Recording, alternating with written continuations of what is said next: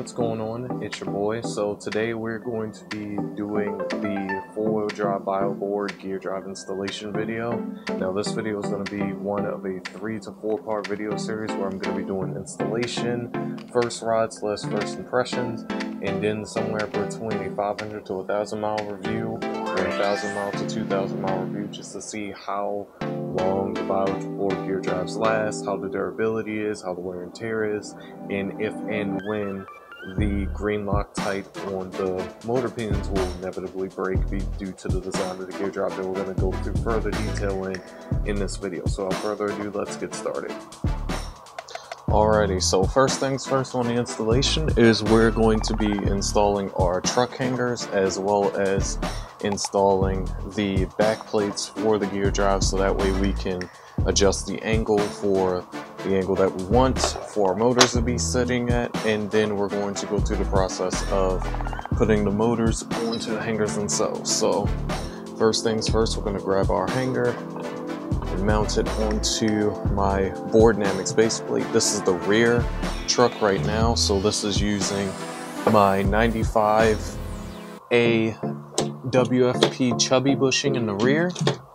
Um, and then I have a 95A APS chubby longboard, um, longboard size bushing that's sitting on top of this one.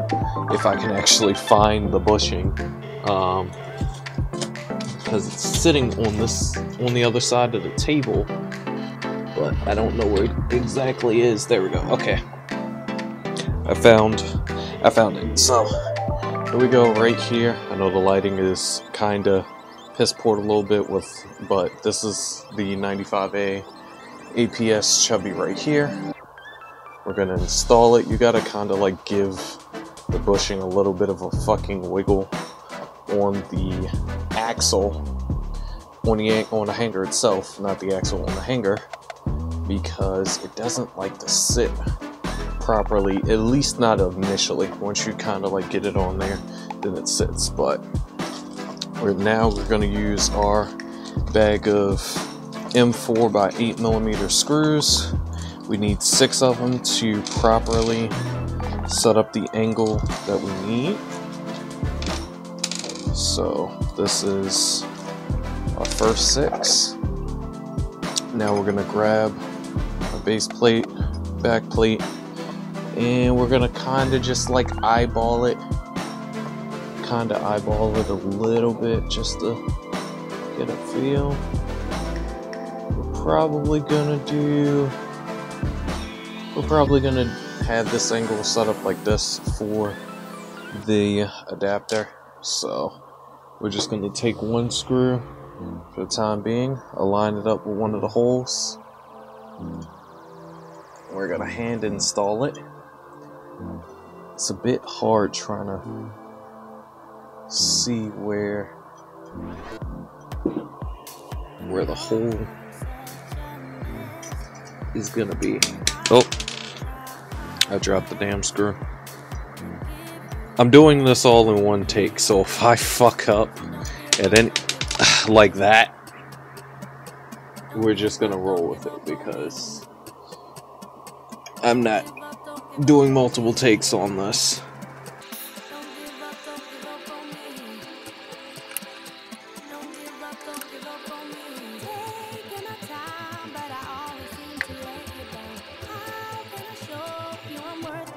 I have just discovered that I am actually installing the damn screws on wrong. They're supposed to be in the inside, not the outside. So, that's fun that I was installing it wrong this entire time. Well, I only did the first two screws before I realized that I was installing it wrong, but... Again, this is why I said I'm gonna do this in one take. Because... I don't feel like... I don't feel like redoing takes. Also, I can actually use my drill. Since it goes on the inside, so... It's actually perfect for me because I can speed this along.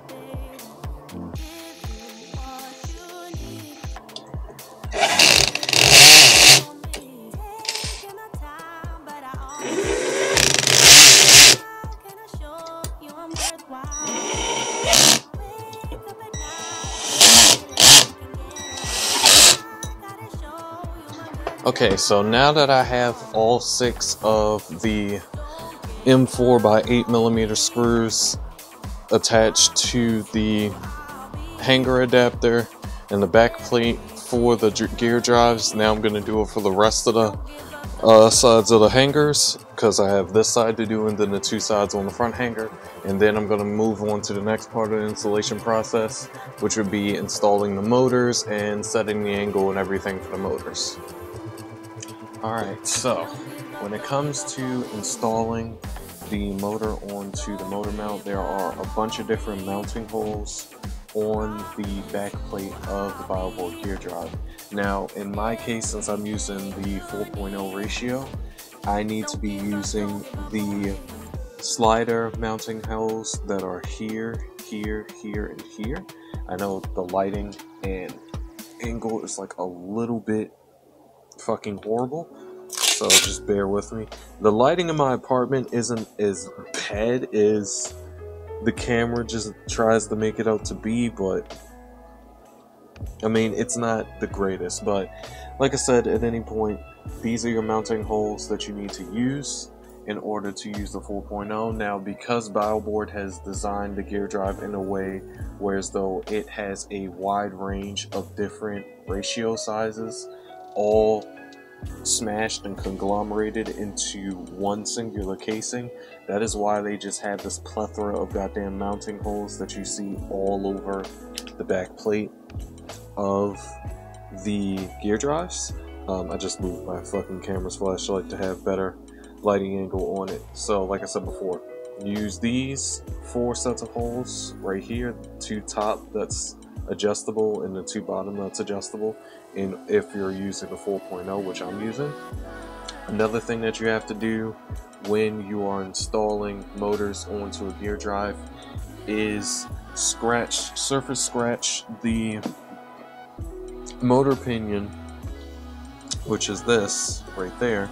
You need to surface scratch it with some sort of Dremel S tool. So I got this I don't know can't remember what this is exactly called, but I usually use this to uh, surface scratch nickel off of cells whenever I'm cleaning cell tabs or something, doing a rebuild, which I don't do often, but I have it connected to my drill here. Drill set to, relative, actually it's not set to low RPM. Okay, now it's set to relative low RPM, set to about 4,000 RPM. Now all you take and do, very simple, you just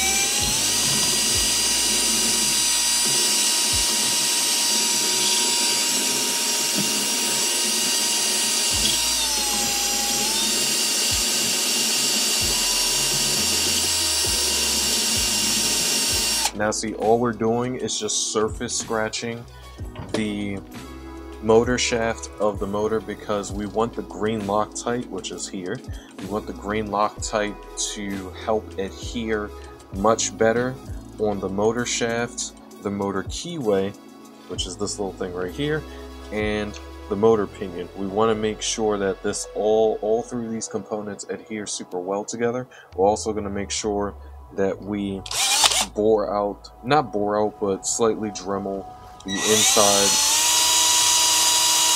of the motor pinion as well.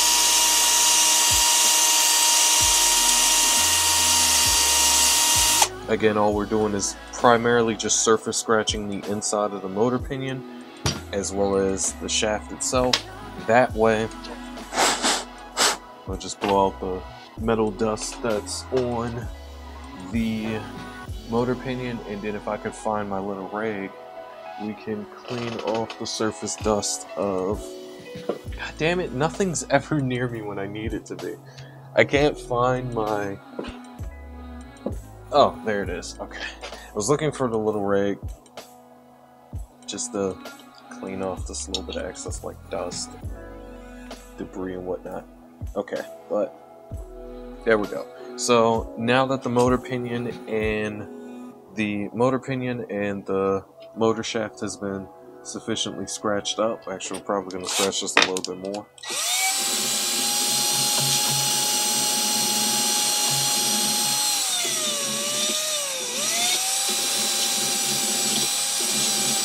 There we go. Now that it's perfectly scratched up, we're going to go ahead and get this prepped for the green Loctite. So what you're going to do now is you're going to install your motor keyway into your motor pinion first. So we're going to put this on and it's just going to slide right in. Now sometimes the keyway doesn't like to slide in perfectly fine, which is okay. It is, depending on tolerance, going to have some semblance of resistance. Then we're going to take our green Loctite here and we're just going to dabble green Loctite within the keyway cutout itself on the motor shaft as well as the motor shaft itself. We don't have to worry about green Loctite putting green Loctite inside the motor pinion as well because the green Loctite that's here is going to slide along the shaft and it's going to cover the inside of the motor pinion as well. So once we sufficiently covered, you don't want to put too too much because the green Loctite is going to get pushed back along the shaft. Um, as we're sliding the motor pinion on.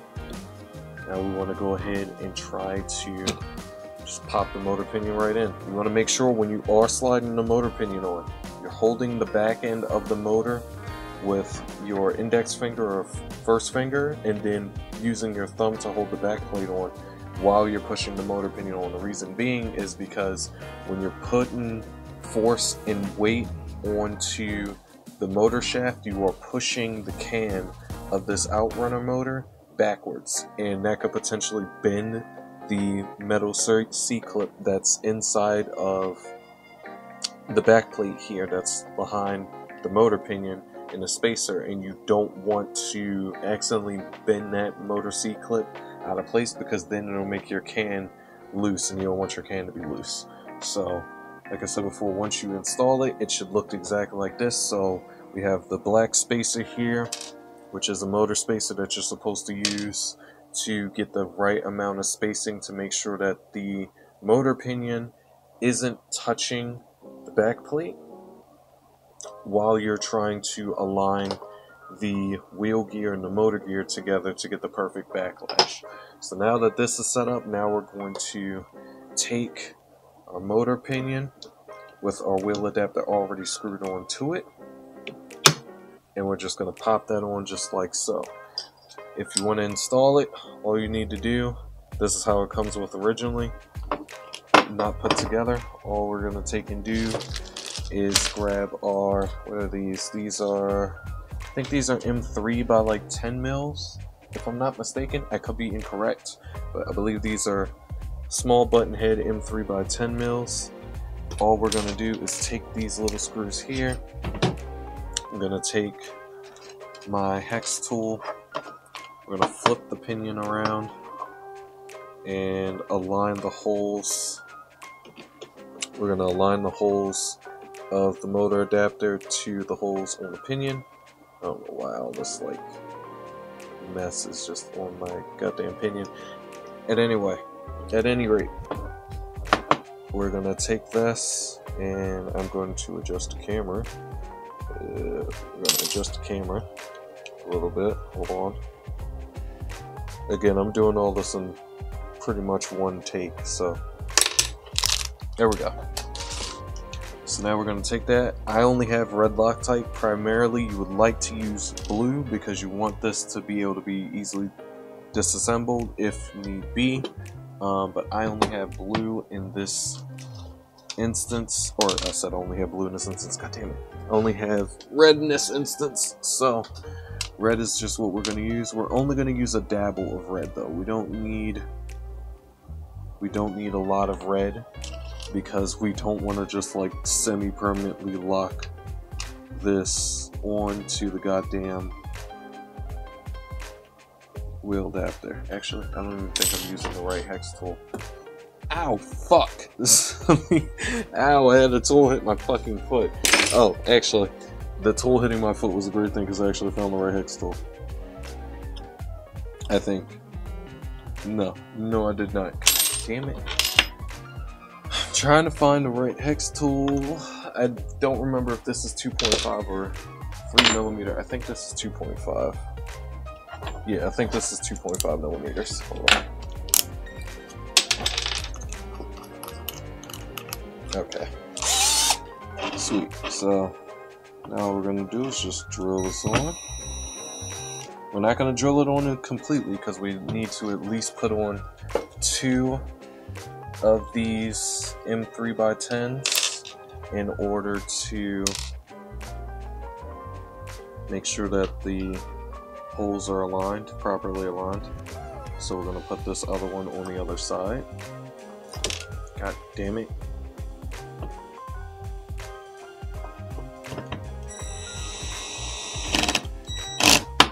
And remember always to set your drill on low RPM whenever you're setting up screws so that way you don't strip anything. So we're just to head in between 2 and 4. Alright, now that that's set, we're to do the other ones.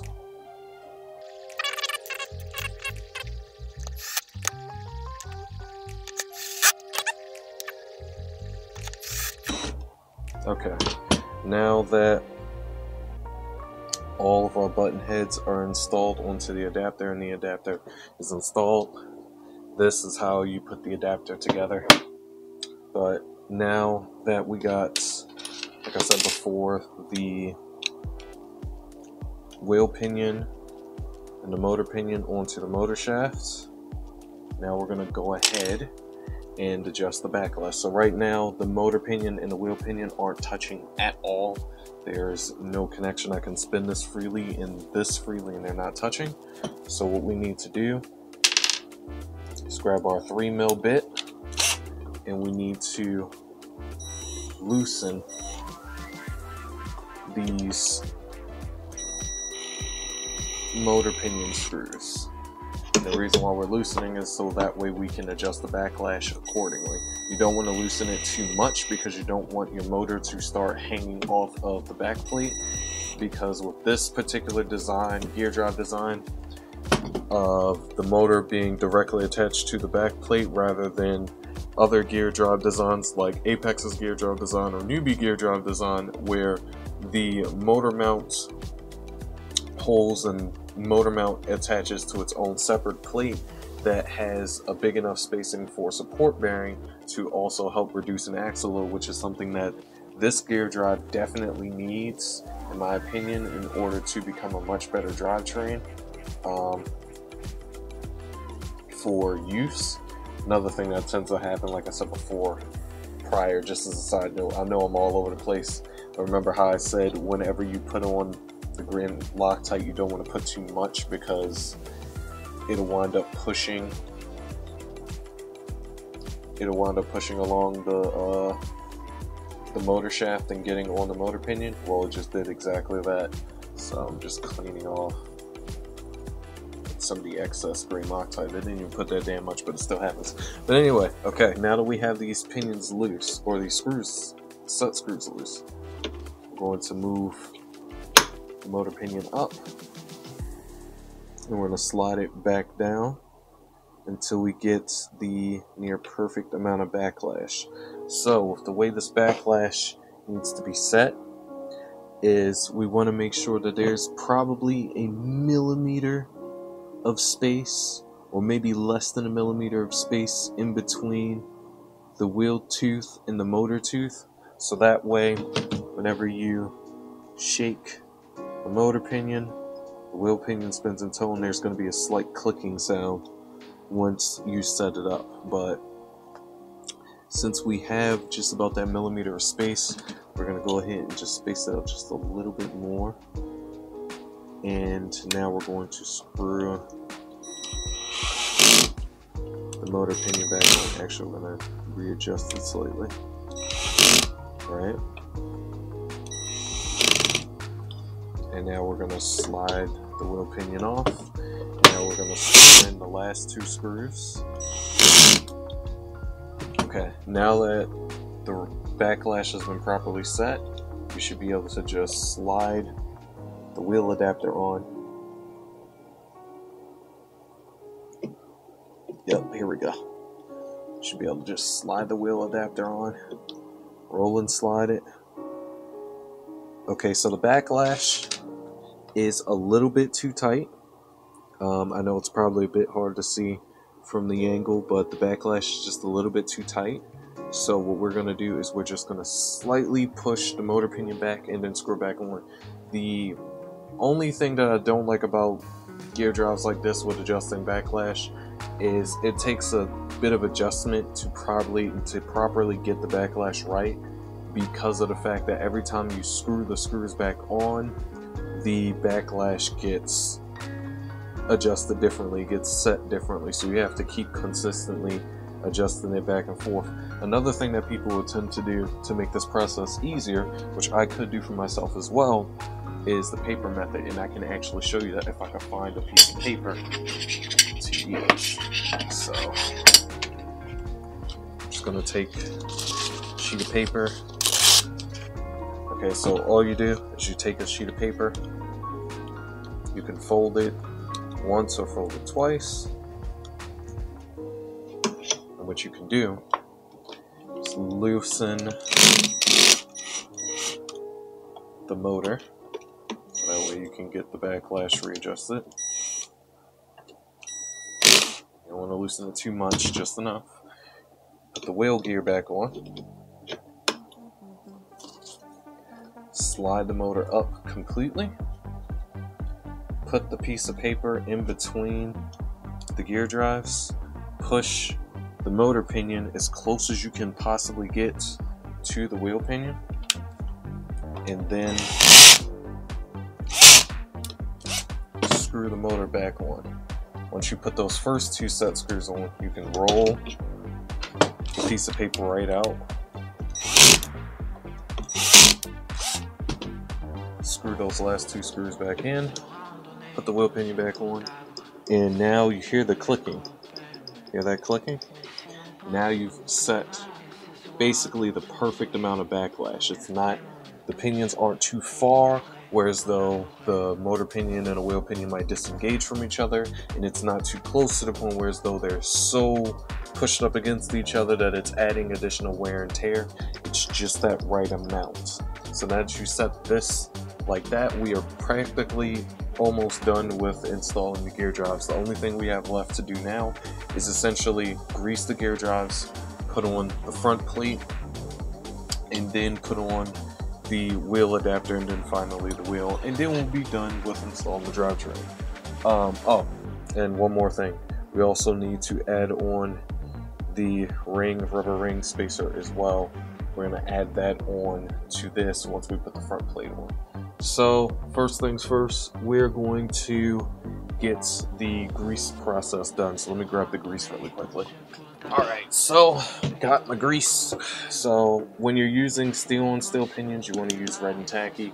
Red and tacky is a very, very good high quality lubrication for metal on metal applications like gear drives and other things of that nature. What you basically want to do is just take, I'm just using Q-tip and putting some red and tacky on it. You want to just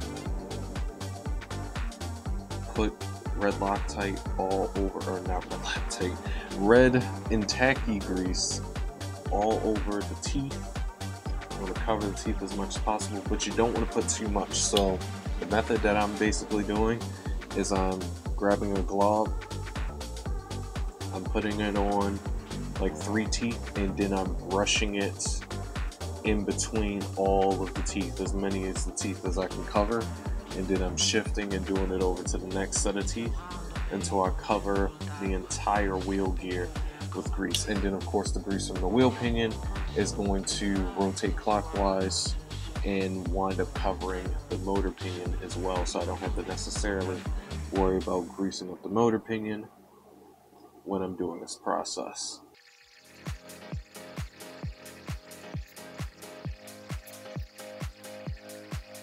Alright, so once you've properly greased up your pinions, you should be able to just roll the motor and get the grease on it. Now, the clicking sound is going to be gone for the time being just because of the fact that you added grease into the gears, but that doesn't mean that the backlash has been changed or unadjusted or anything like that. The backlash is still perfectly set fine.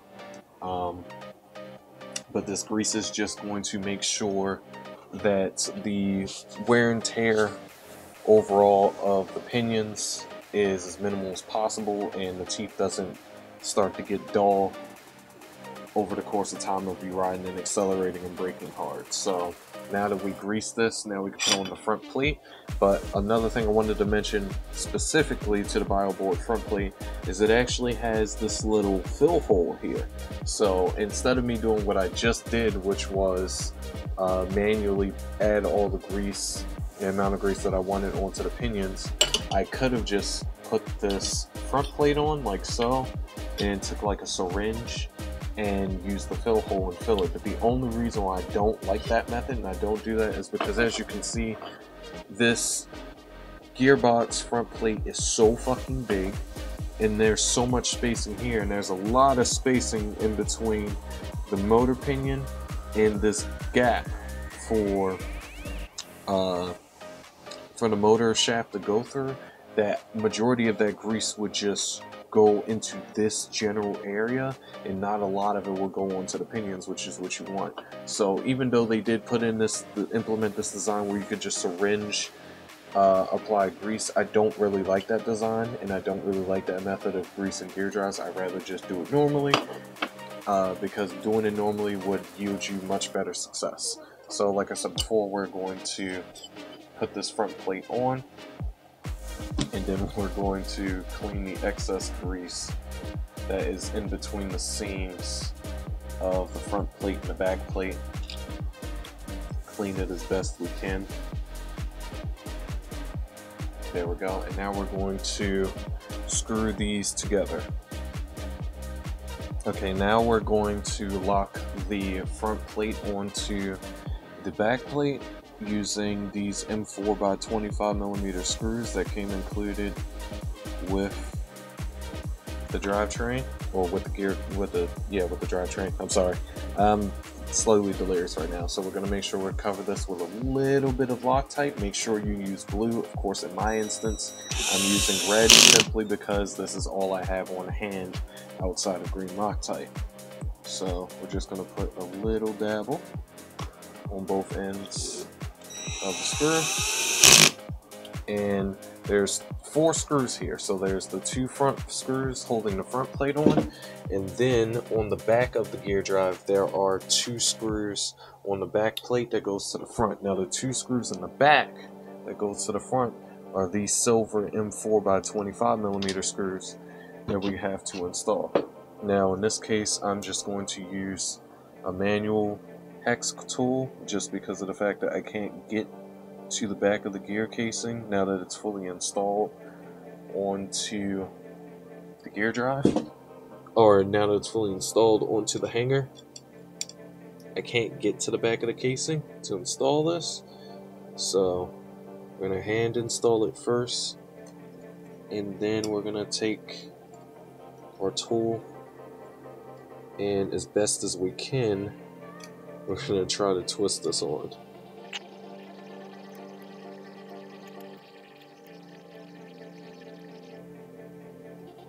I just want to pause the speed up just to say that having these two screws in the back be mounted like this rather than being in the front mounted to the back is such a major design flaw because it makes this process of installing the gear drive so much more fucking tedious because it's hard to get to the back of these damn screws to actually screw them on because of the fact that the gearbox is already installed onto the mounting plate or on yeah onto the mounting adapter for the hanger. So BioBoard definitely needs to change this aspect of the gearbox uh, to make installation a lot easier because this installation process right here in this instance is not easy at all. Okay.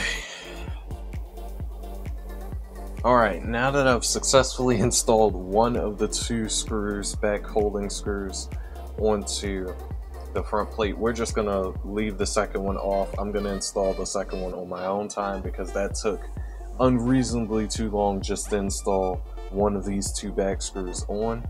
Um, the next part of this installation process that we're going to do now is putting on the rubber V-ring on the wheel adapter. So it's going to be installed like this, where, hold on, I'm trying to just get it installed for you, just so you can see, where you see that the V portion of the flap is facing towards me. So what we're to do is we're just to take, ooh,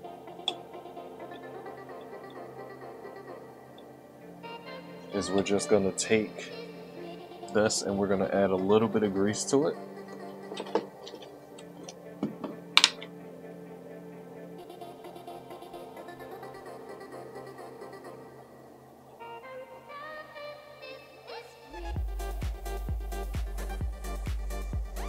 And end up getting grease on my fingers.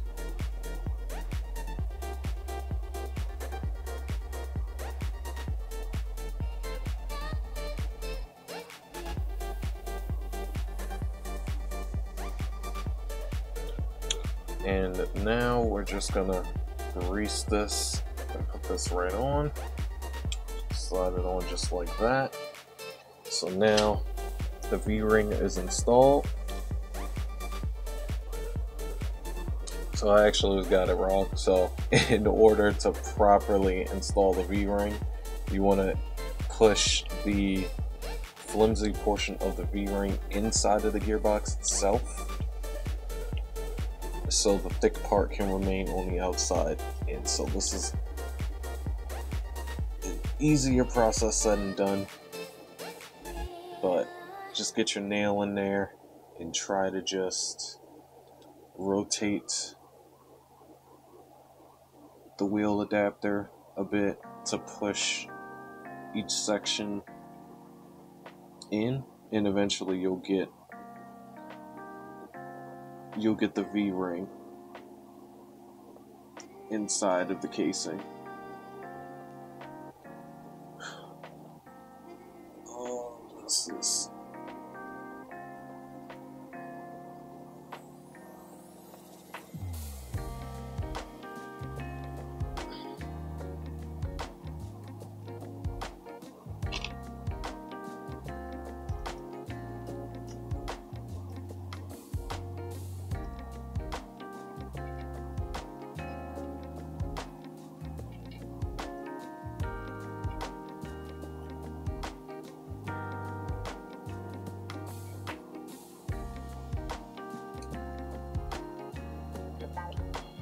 Okay, so now the V-ring is actually installed properly and we're just going to clean up little bits of excess grease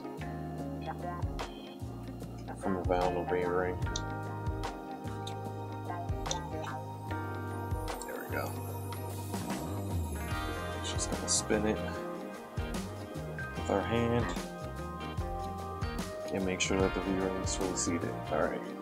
Now that the V-ring is fully seated properly, now we're going to go ahead and take our AT wheel adapter because I'm going to be installing AT wheels. And we're going to be using our M4 by 10 millimeter screws. And we're going to be installing the AT wheel adapter onto the gear drive. So just going to drop all our screws here grab our drill, grab a little bit red Loctite, put our adapter on and we're going to install it.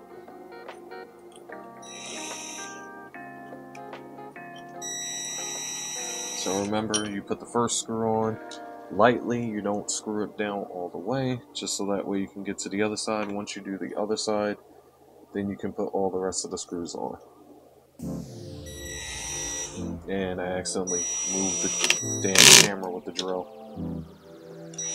I'm trying to install this. Alright, there should be a grand total of five holes. So in the star pattern, so that's hole number three. This is hole number four right here. Sorry about hitting the camera again. And then this is hole numero 5 down here. Alright, now that that's installed, we are pretty much done with gear drive installation now. The only thing left to do, thing that's left to do, is to install the wheel hub onto the gear drive itself, um, and also put a spacer in between the adapter or the wheel gear itself and the hub so that way we can install the hub properly. So just to actually show you when I find the right mode wheel that's going to go in the back here. So this is my massive QND fucking tire on the MBS Rockstar 2 hub. We're going to just slide it on. It has a spacer on the inside, so right now I'm just checking the spacing in between this and the wheel gear, and the spacing is a bit too close because there's a lot of thread showing here. So all we're gonna do is take a small spacer, place the small spacer on,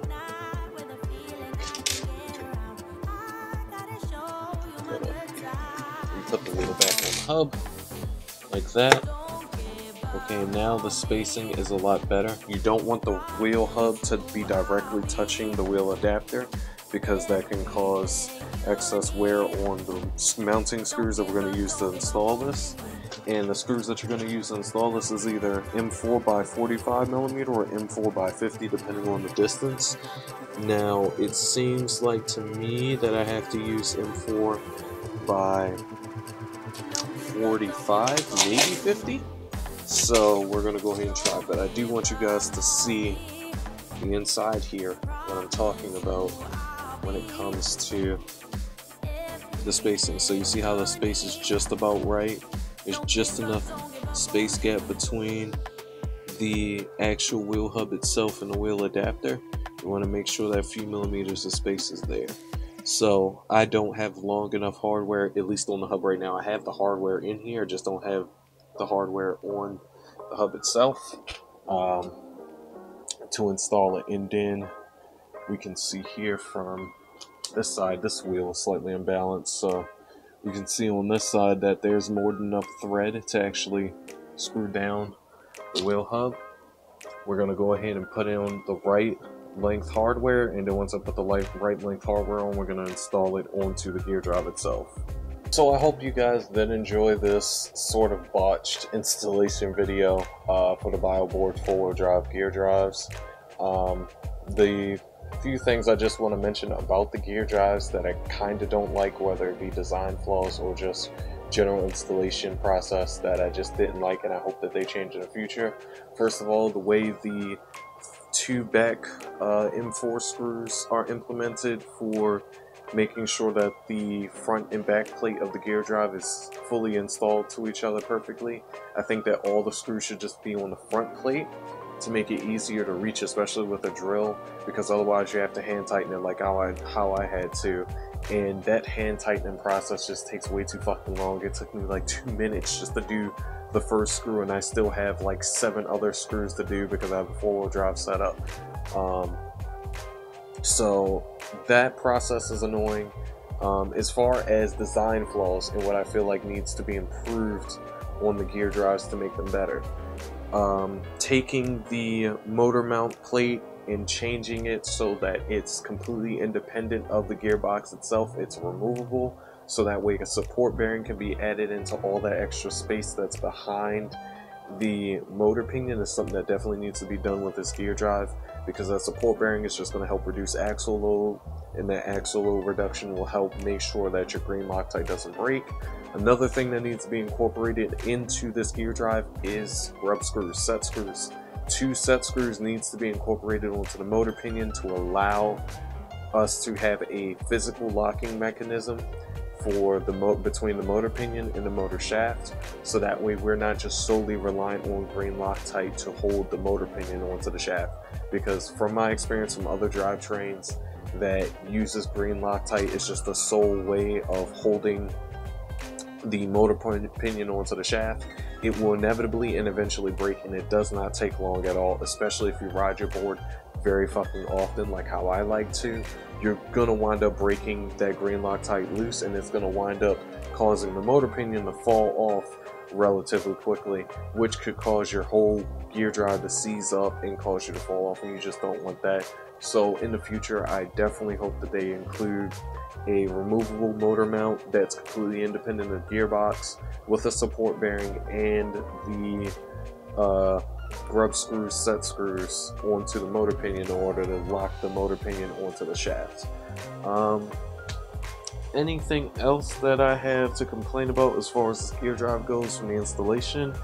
Um, personally, I didn't like the uh, syringe hole for the grease to add grease into the gear drives. Again, I know that's just meant for it to be just a simple process. Once you put the gear drives together, then you squeeze in some uh, grease and then rotate the motor around so that we can get the grease all around the gear drive. I personally just don't like that I, because I just rather it just I'd rather install the grease on normally rather than use the syringe method because the syringe method is only going to cover primarily the massive space gap that is next to the motor pinion from where the syringe point is, point entry is. I don't really like that. Um, and one more thing that I just noticed after I installed the gear drives, which I actually want to show you guys, um, is that the wheel pinion is slightly loose um, after you're done installing. Now, the idea behind it is that the force and preload from you screwing your wheel, if you're using an AT or a street wheel or your AT wheel hub onto the gear drive and lock nut will push the will push put pressure on the hub and then from the hub to the wheel hub adapter and then from the wheel hub adapter to the wheel pinion to keep the wheel pinion um, fully seated inside of the gearbox casing so it can stay fully connected to the motor pinion. It it's not a design choice that I personally like because I can just pull this I can't pull it completely out of course because there's only so much of the wheel adapter I can pull out but I can actually pull the wheel gear up and down from inside of the casing from the wheel adapter due to this design choice. That's something that I don't really care for. What they need to do instead of having the gearbox designed like that is make it so that this adapter is just quick release. Make it so that once you put this front case on, the front case is on, then there's going to be the uh, five star screw pattern that you need to use to mount the wheel adapter on. You can mount the wheel adapter onto the hub first, then from the hub to the uh, adapter. Or actually, yeah, I think yeah, I think that'll work. Um, I think that'll work, but have it set up that way so that way you're not able to just freely shake and move the wheel pinion from the outside of the gearbox because I shouldn't technically be able to do this, but I can do this. And I, I even double checked the installation uh, paper that actually comes with the BioBoard gear drives when you buy them just to see if there was anything I did wrong with an installation process. And it wasn't anything I did wrong with as far as the installation process. I followed it to a T. And this is just how it is. Like I said before, this isn't, this shouldn't affect the performance of the drives in any shape way or form, but I don't like that again. It's in order to keep this from shifting and shaking, it's reliant on me mounting the wheel onto the axle and then screwing it down with a lock nut and then that force from the lock nut pushing up against the wheel hub will then push up against the adapter to help keep the wheel gear fully seated within the gearbox. I don't really care for that. Um, probably definitely needs to change that design up around.